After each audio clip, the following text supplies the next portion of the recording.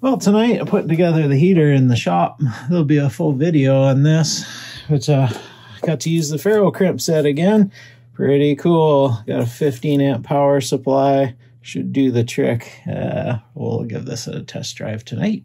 Okay, that's crude for tonight, but that is my new diesel heater running in the shop instead of that monster that fills things full of stink and smoke. This is completely sealed. All the exhaust goes outside, only air in, air out, heat exchanger on the inside. Nice and safe and uh, super. It kicks a lot of heat. That's pretty cool. I like it. That's what the uh, makerspace is looking like. It is only three degrees Celsius in here tonight, and that's actually warming up a little bit. It is cold. They're cool. It's gonna get worse, but now we can work in here this winter.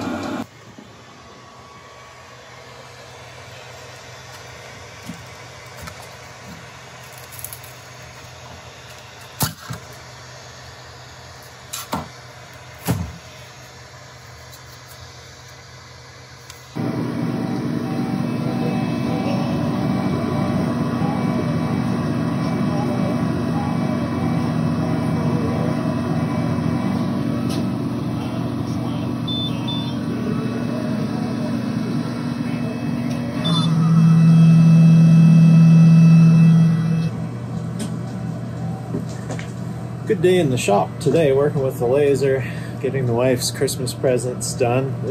I'm actually really happy with these. So I've got different key tags uh, with their company website on um, pens. Uh, I forget what else, and I put them in a cool uh, wooden box that I've actually just got carrying over here. Um, yeah, it's still wet.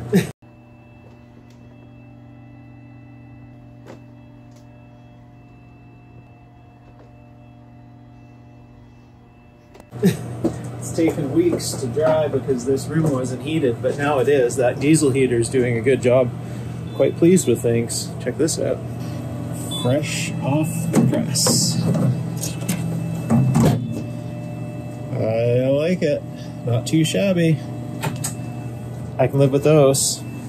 Diesel heater's been here uh, three days now, and I have it on the lowest setting it's just sipping away on almost no diesel. It's got it up to 10C in here. That may not seem like much, but it's a heck of a lot warmer than the ambient. I actually haven't had this room up to temp in weeks, so I'm thinking it won't have a hard time keeping things warm once I bring everything up. So I'm just gonna let this run this weekend and just see. I know how much diesel it'll use. Uh, it's easy to do the math and uh, it's not cheap. It's uh, two dollars and some uh, right around two dollars a liter for farm diesel right now. But uh, for a warm shop over the Christmas break that I can actually work in and do things, I like it. Well, hit the old Walmarts today. Crazy busy with the holidays, but I needed a laminator, and these they had for 30 bucks. And, well, I have lots and lots of laminator plastic, but what I need, uh, I wanted to laminate these uh, tap and drill clearance sizes and cross-reference sheets for machining in the garage and always having to look them up on my phone and it's getting my phone all goobery. So it's time to post them. I don't use them that often, but uh, it's good to have them on the wall somewhere. And paper doesn't live well in the garage, so I'm going to give this thing a try.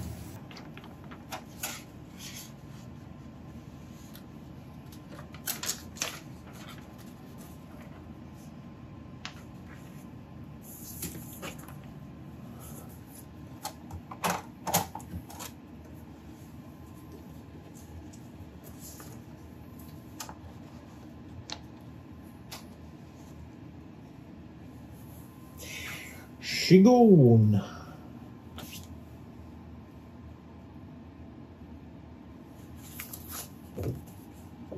Lovely. They did a fine job. Nothing wrong with that. Okie dokie.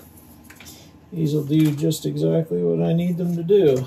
This one will do double-sided, as it's more or less duplicating the other two with a couple other handy things on here.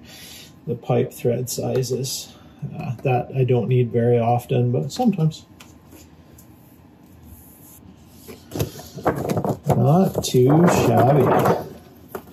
Huh, what do you know?